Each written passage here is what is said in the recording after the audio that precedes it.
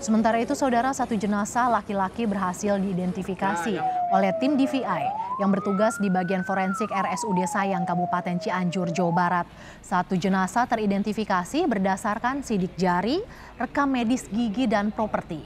Hingga saat ini, tim DVI berhasil mengidentifikasi sebanyak 152 jenazah.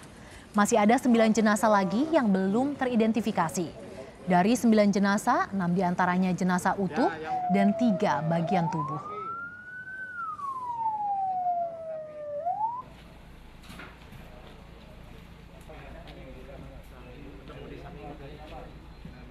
Cocok dengan data antemortem nomor 120 teridentifikasi sebagai Herman Setiawan, garis miring laki-laki, 26 tahun, Kampung Cicadas, RT 01, RW 06 Desa Cijendil, Kecamatan Cigenang, Kabupaten Cianjur, teridentifikasi melalui sidik jari, kemudian catatan gigi, kemudian catatan medis dan properti.